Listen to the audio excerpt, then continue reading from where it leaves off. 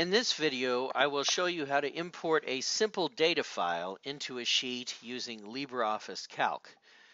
Now, you may notice things look a little bit different than in my previous videos. That's because I'm using a Mac in this video, but this procedure works the same using LibreOffice on a PC.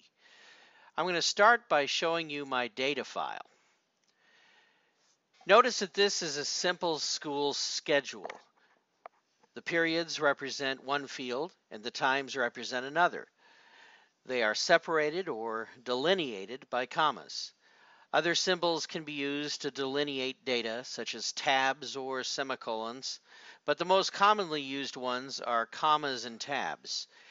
It's important to note that you could import this data in a similar manner into Microsoft Excel spreadsheet document LibreOffice Base or Microsoft Access databases as well.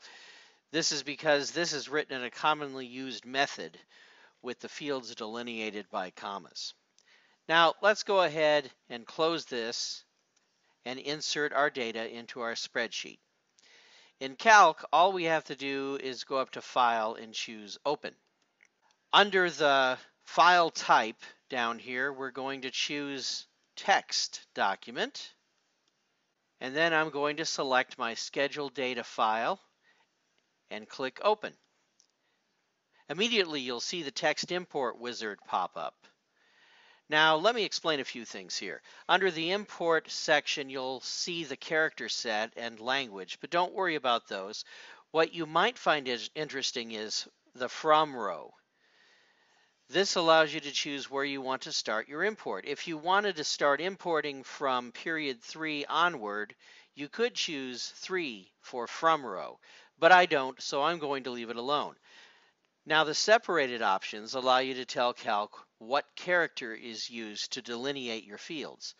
Notice that comma is selected by default, so it automatically figures it out.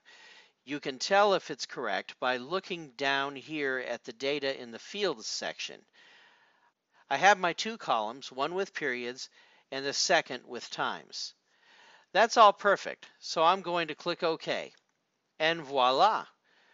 The data has imported correctly into two columns.